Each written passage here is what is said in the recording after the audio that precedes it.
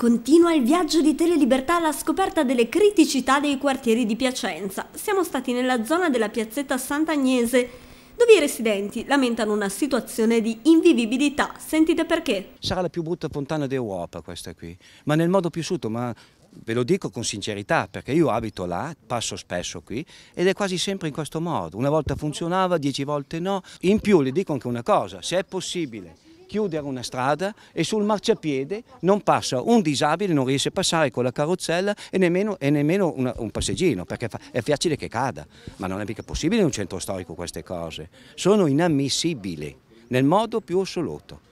Le piante, poi lei vede le piante, se li inquadra per gentilezza, vanno nelle case di gente. Poi hanno anche predisposto la catena per chiudere la, piazzetta di sera, perché è un parcheggio se no è libero, però la catena non è arrivata, c'è una predisposizione ma su una catena. Qua ci mettono le auto di sera? Eh, a voglia, eh, qui eh, sì perché ci sono locali in giro e di conseguenza parcheggiano dove c'è. No?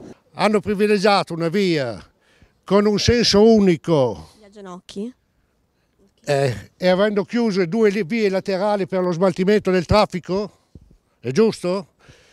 È giusto che abbiano preso via Angelo Genocchi per fargli un parcheggio a periferia del centro e noi che abitiamo non abbiamo il diritto di abitarci?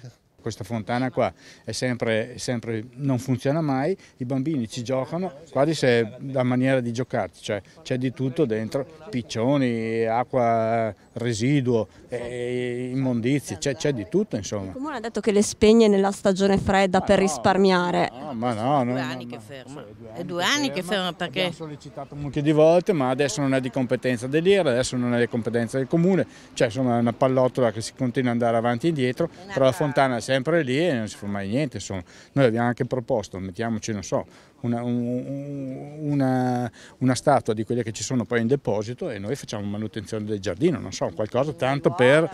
Eh, tanto perché magari un bambino ci va e almeno ci gioca, non so, una roba del genere. C'è poi il problema dell'immondizia.